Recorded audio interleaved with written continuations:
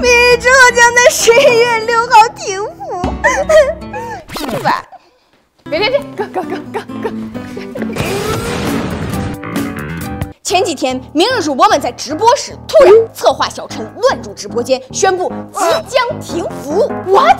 官方实锤停服？当时真的是大吃一惊。但其实，根据官方的消息，停服是为了更新第三季，更新之后会将所有的地图进行合并，变成无缝大。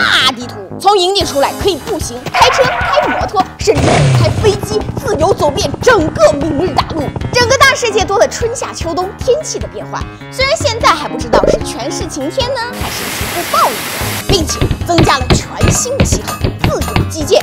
如果你在旅途当中遇到了横跨不了的地区，就地建桥，甚至可以搭建滑索穿山越岭。感觉明日之后好像变成了一个全新的游戏，但我还是有一点担心啊。